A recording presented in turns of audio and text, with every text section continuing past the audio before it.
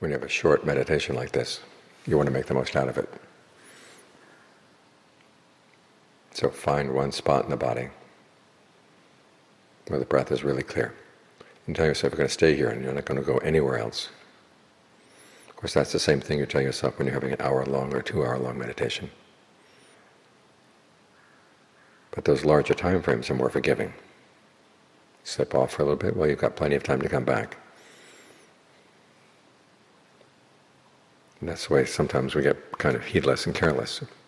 But when you've got a short meditation like this, you can't spare any moment at all. You've got to stay right here, right here, right here. Be fully aware right here. The quality they call, in Pali they call citta. means giving your whole mind to it. In Thai they translate it as taking your heart and putting into, into something. It means you really pay attention to what you're doing and really try to do it well. So give your whole attention to the breath right here, right here. Even with the sound of the Dharma talk, just let it go past. You want to be right with the breath and how it feels in the body.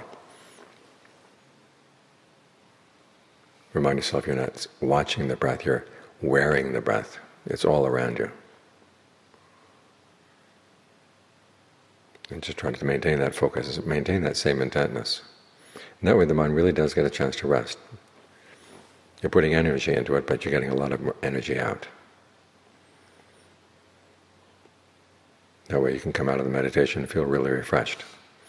Because all the little muscles in the, in the head and other parts of the body that have to be used for thinking get, get some time to get some fresh blood and to relax a bit.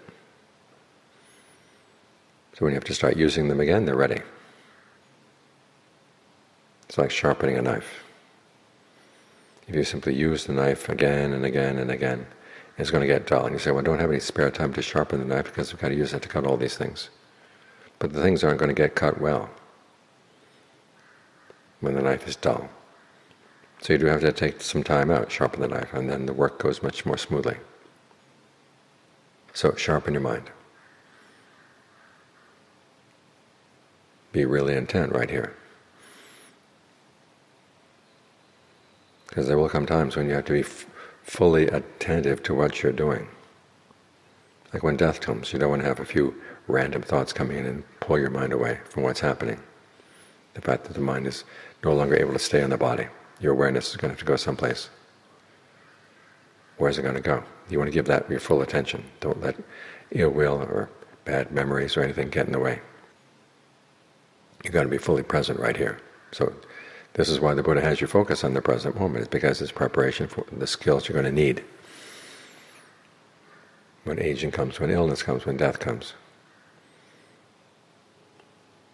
Keep it in the back of your mind. You're doing this for the sake of those things. You're doing it for the present moment, that's true. Giving your full attention to the present moment, but your motivation includes the fact that you've really got to do this well. Otherwise you say, well, this is good enough for now. The question is, is it really good enough? Is good enough to die with. If not, okay, make it better. That way you get the most out of this short meditation time that we have here.